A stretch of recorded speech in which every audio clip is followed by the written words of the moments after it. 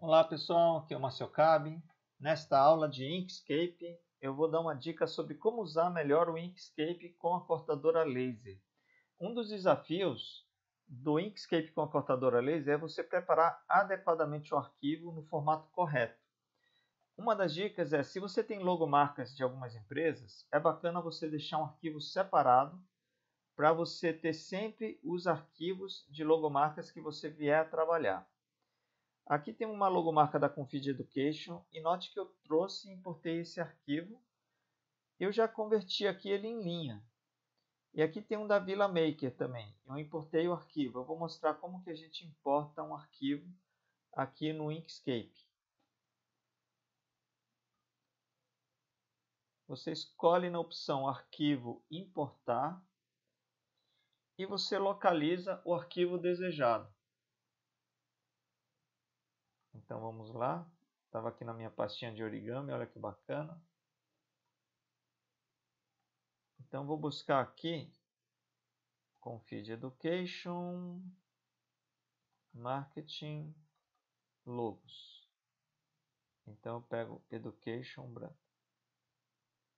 Então quando você importa, ele vai trazer, logicamente, no formato de imagem. Está aqui, formato de imagem. Opa, uma dica, segura o CTRL para ele diminuir proporcionalmente. Deixa eu deixar o da Villa Maker aqui um pouco de lado. Então, como é que eu faço para tirar as linhas desse arquivo?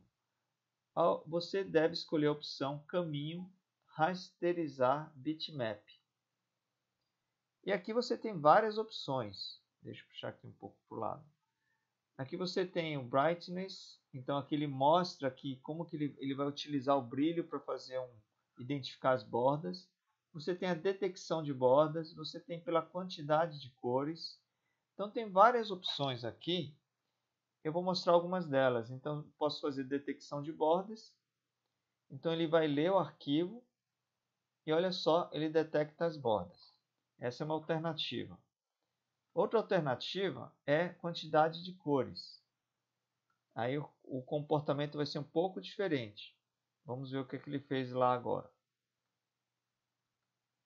Então ele tirou pelas cores. Então ele identificou pela quantidade de cores. Então tem que fazer alguns testes, pessoal. Fica a dica aqui para vocês fazerem os testes. Mas um dos problemas que eu tenho nesse tipo de Deixa eu fechar aqui a janela.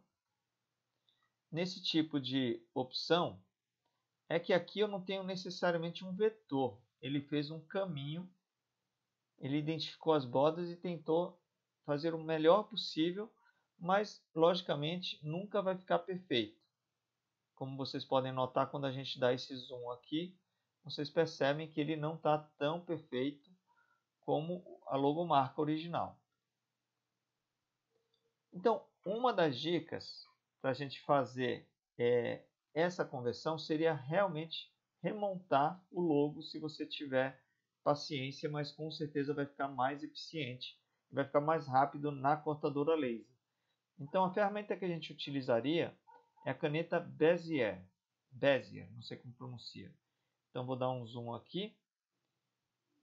Olha o trabalho que dá. Eu teria que identificar aqui a pontinha aqui do triângulo Aí eu clico na outra pontinha, clico nessa outra pontinha e clico duas vezes. Pronto. Ah, tem um probleminha aqui, deixa eu dar um Ctrl Z. Foi até interessante acontecer. Aqui na caneta, nessa caneta Bezier, opa, eu tinha feito anteriormente, coloquei como elipse. Eu tenho que colocar como nenhum, senão ele vai ficar aquele efeito esquisito. Então vamos lá de novo. Foi até bom acontecer para vocês perceberem as opções que eu tenho dessa caneta. Clica duas vezes. Pronto. Então, se eu fosse fazer remontar esse logo, o ideal seria você fazer dessa forma e depois fazer Ctrl D, duplicar. E aí você vai reduzindo. Se você clicar no Shift, ele evita esse... Olha só, eu estou tentando reduzir e ele não não dá muita, ele fica dando uns efeitos aqui esquisitos. Então, se você segurar no Shift, ele te dá essa opção aqui. Olha só, estou segurando no Ctrl. Agora, se eu segurar no Shift, ele vai proporcional e fica mais fácil eu fazer o retângulo de dentro. Márcio, mas e agora? Como é que eu faço esses outros retângulos aqui? Vou pegar aqui o maior, fazer um Ctrl D. Como é que eu faço esse retângulo? Eu posso girar esse elemento clicando nele, mas claramente eu não vou conseguir encaixar esse retângulo aqui. E olha só, ele tenta sempre colar aqui. Isso daqui é um probleminha que eu resolvo segurando o Shift. Porque o Shift ele para de colar ele aqui. Mas como é que eu faço para editar agora? Você pode clicar na edição de pontos. E agora eu posso puxar. Quando eu clico nesta opção editor de nós, eu consigo ajustar os nós no caminho desejado. Deixa eu ampliar aqui também, facilita um pouco. Então aqui eu consigo ajustar. Opa, na edição de nós, eu consigo puxar esse nó para cá. Segura o Ctrl. É muito importante essa dica, pessoal. Você segura o Ctrl aqui, eu consigo ajustar isso aqui. Ctrl Shift também. Não é tão fácil não, como a gente pode notar aqui. Prontinho. Então notem que vai dar um trabalhão fazer isso aqui. Agora só para finalizar, eu quero mostrar um que é mais fácil. O da Villa Maker é mais fácil, porque ele é mais é, regular. Então ba basta eu recriar esse logo montando dessa forma. Um, dois, três, quatro, cinco, seis e sete e oito. Pronto. Então, olha só.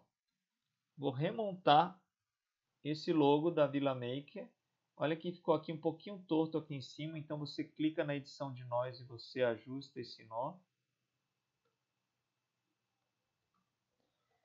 Gente, qual a vantagem de eu utilizar essa forma e recriar o logo?